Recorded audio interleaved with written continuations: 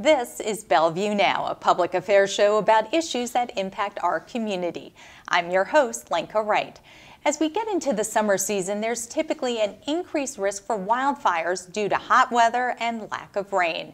And one city ordinance that everyone should be aware of that reduces fire risk and improves safety concerns fireworks. Specifically, all fireworks are illegal in Bellevue and areas serviced by the Bellevue Fire Department.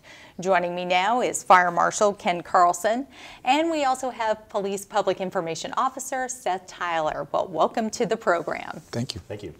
So Ken, why the concern over all types of fireworks, from sparklers to M80 firecrackers? From the fire department's perspective, it's really about the fire risk. You know, around the 4th of July is, is always our driest period of the year and the potential for fire and, and fire spread is real. Um, Bellevue is known for being a city in the park. We've got a lot of forested areas and green belts, and you know the potential at that time of year for fire to spread into those areas is really significant.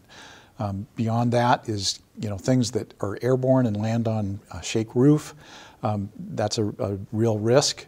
And, and beyond the fire department's perspective is the citizen's perspective fireworks are illegal, right? So why are people still doing this? It impacts my life, um, my ability to sleep. If I have pets, I have to sedate them or keep them indoors. So depending on your perspective, you know, there's a myriad of reasons why we need to pay attention to this. And then in March, the City Council approved increasing the penalties for illegal fireworks use. So can you tell me a little bit about the increased fines and the reasons behind them? Certainly.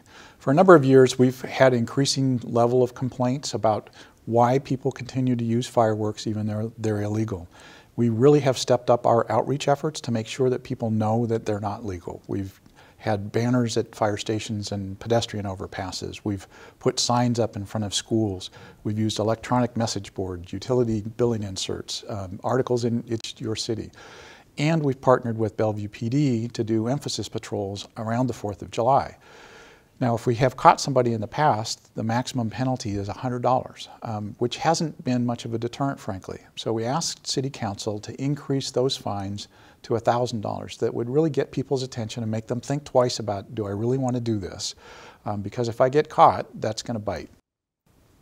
Yeah, and Seth, from the police perspective, how big a problem is illegal fireworks use in Bellevue? Well, as Ken mentioned, it's big enough that we're going to have extra patrols out uh, with the fire department as we have in years past, specifically responding to complaints of illegal firework use in Bellevue. Um, to give you a little perspective, last year alone, just on the 4th of July, the Bellevue Police and Fire Department responded to 44 complaints of illegal fireworks use, and that was just on the 4th of July. So we'll be out, and, and as Ken mentioned, you're looking at a fine of up to $1,000 if you're caught using any type of fireworks in the city of Bellevue. And that is if you don't cause any damage or injury. If you cause damage or injury, you're looking at potential civil and criminal liabilities. And Ken, from your experience as the fire marshal, why should the public leave the fireworks to the professionals?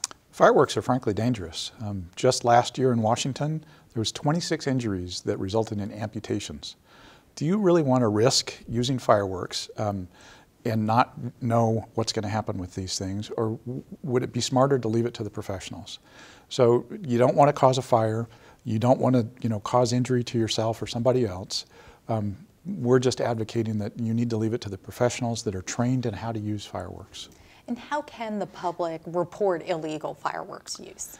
If they are seeing illegal fireworks, have, we're asking that they call 911 and be as specific as you can about where the location of the, the use is. Um, because frankly, after dark, uh, it's pretty tough to respond to fireworks in the area. Um, you know, beyond reporting, um, we'd like people to be proactive. So if you know somebody in your neighborhood that's used fireworks in the past, if you'd like them to know that they're illegal, you know, and you're okay with that, have a conversation with them. Um, we have signs that, that we would like people to host if they're interested, that they can park in their front yard or you know the entrance to a neighborhood that helps get that, get that message out. And how would someone get the sign? Should they contact? Contact Bellevue Fire Department and we'd be happy to arrange getting this in, in their hands.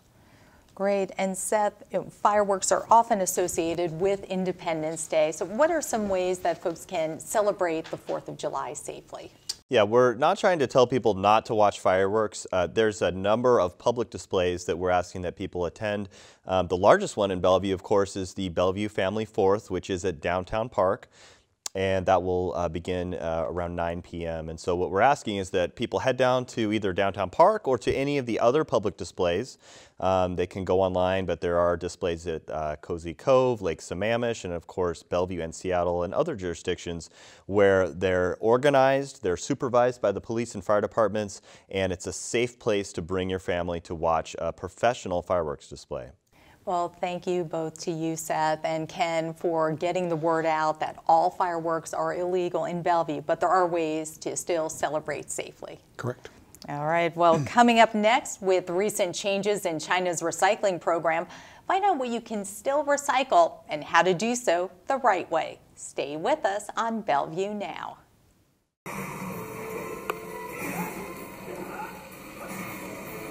Are you looking for summer fun? Try one of Bellevue's really fun day camps. There are lots of fun camps. Sport camps, theater camps, Kelsey Creek Farm camps, adventure camps for kids and teens, art camps, even skateboarding, and rock climbing. Find out more and sign up for a great summer day camp today. Welcome back to Bellevue Now. I'm Lenka Wright. Recently, China enacted stricter recycling rules, which are impacting the local recycling market and it's especially being felt in the recycling of mixed paper such as magazines, junk mail, and office paper. With more on the recycling front is Bellevue Utilities Conservation and Outreach Program Administrator Jennifer Goodhart. Jennifer, it's great to have Thank you here. Thank you. Thanks for having me. So with the China recycling market essentially closed to the U.S., should residents stop putting mixed paper in their recycling cart?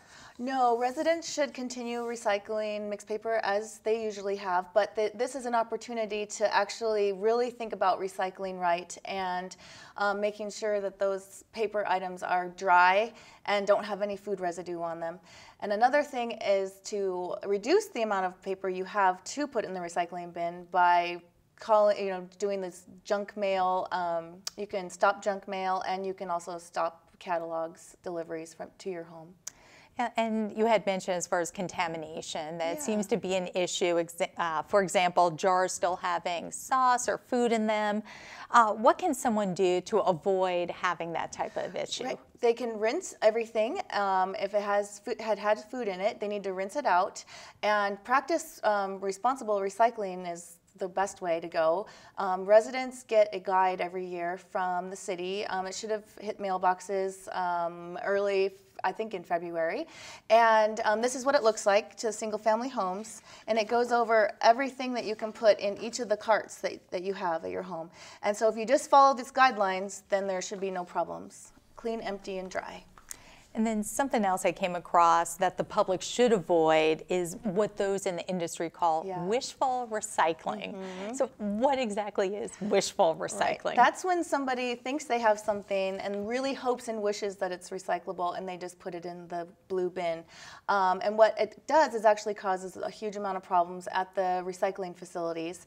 And some items that I've heard that have come across those, those belts are like hoses, Christmas lights, even animal carcasses, which is disgusting. Mm. Um, there's bowling balls, medical syringes. I mean, just a million. If you could think of something that's probably come across the bin, diapers, pet waste, it's really bad. So those things, you know, just stick to the guidelines, and it, we shouldn't have any problems. Yeah, and you brought with you some items that are recyclable. Right. So let's kind of go over what's the right. right. way to recycle and what you okay. should avoid doing. Yeah, the main things that you definitely can recycle, like we were just talking about, mixed paper. We've got, I mean, this is just an example of all the junk mail. I need to do stop my junk mail. I got a lot yesterday. Um, tin and aluminum cans. We've got aluminum can. Um, clean glass but you, if you get something like this mm. and you're just like don't want to rinse it out, throw it in the garbage because it will contaminate. This takes it's a long journey for this to make it to the end market, and it would be completely coated in. It would be a hazardous material at the time it gets to the end market. So rinse your glass. And one other thing I wanted to say is that things like greasy pizza boxes, um, napkins that you you know have like food on them, they can all go into your green organics cart. You don't, but the it contaminates the blue cart. So just Right. keep that in mind. Yep. So what else can someone do to help on the recycling front and avoid things from going to the landfill? Right. Um, something that people, anyone can do is reduce and reuse. Those come first. It's reduce, reuse, recycle, and then there's rethink. But um, so use a reusable coffee mug. I brought an example. This can reduce a ton of waste if you drink a lot of coffee. Um, reusable water bottles. You can use reusable sporks. They make reusable straws now. Reusable bags like this. I mean, there's tons of ways that you can can reduce um, your impact. And something else that the public should be aware of coming up in July is uh, a latex paint recycling event that Yeah. Bellevue's Utilities is hosting. Tell me a little bit about the event. Yep, this event is really, it's really exciting that we are able to now in Washington actually recycle latex paint. Um, we haven't ever actually been able to do that. Um, this is a new company that moved to Washington called Green Sheen that takes paint, old paint, you know, remnants of paint in cans and mixes them by color and then resells um, they probably have a process. Then they resell it to the public. So it's full loop recycling. And um, we have the event on July 14th at Sammamish High School. And there's like small fees associated per the size of your container. And we, um, we actually have flyers about the event. I'll hold one up real quick. Um, they're at all the paint local paint stores, and then I think um, we'll have a close up of it so you can see the details. Great. Well, thank you so much, Jennifer, for stopping by and sharing with us these recycling tips. Yeah, thanks for having me. Well, for the latest news about our city, be sure to visit us online at bellevuewa.gov. Until next time, I'm Lenka Wright. Have a great day.